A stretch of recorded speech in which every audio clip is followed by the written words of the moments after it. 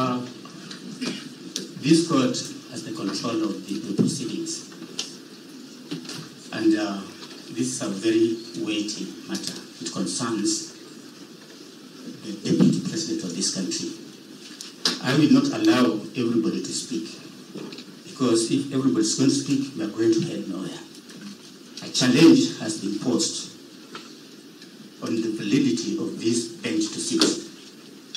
This is the direction we are making. The application challenging the validity of this court to sit must be filed within one hour and responded to within one hour. We will come at two to listen to that application.